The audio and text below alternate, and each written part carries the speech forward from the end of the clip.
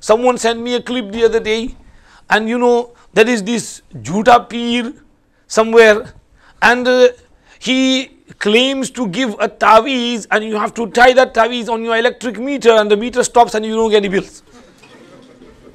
You still get the electricity, but you don't have to pay any bills. And people go, and there is a huge line of people going to him and taking taweez from him. So, you know, use your brains. Has that ever happened to anyone? Then why do you still go to him and believe in him?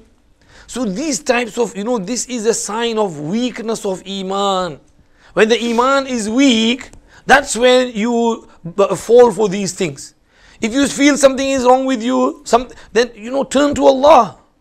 You know, pray few rakat salah and cry to Allah. And there are many, many, you know, amaliyat which you can do on yourself. Read Ayatul Kursi. Read, you know, if anything, anything happens to you, the best wazifa of Mufti Mahmudul Hasan Gangohi Rahmatullah alayh, that for 40 days, after every namaz and before going to sleep, read this.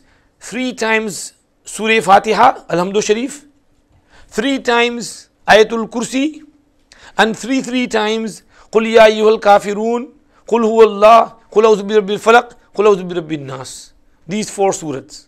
Do you get it? Surah Fatiha, Ayatul Kursi and the four quls. Three, three, three times each. And three times Durood Sharif before and after. Okay?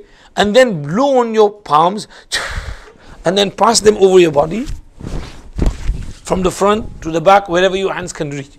And any effect of maybe jinn, jadoo, nazar, anything, it will disappear. Because these are the words of Allah. And Ayatul Kursi is extremely powerful to get rid of anything.